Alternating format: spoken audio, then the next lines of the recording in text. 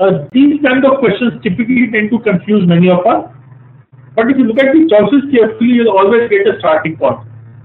The choices say so much percent of A, so much percentage of A in all the all the choices.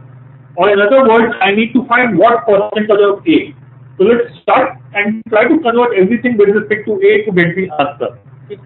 X percent of A is nothing but X A upon 100 is equal to Y percent of B.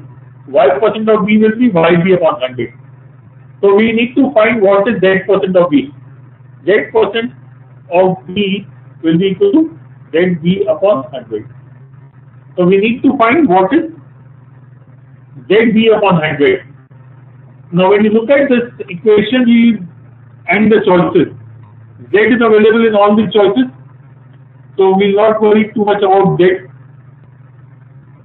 And B not the the choices.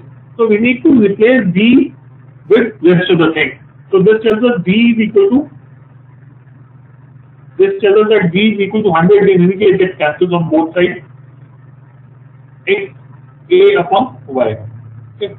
So ZB upon 100 should be equal to Z upon 100 and B is nothing but X A upon Y which is nothing but Z percent or other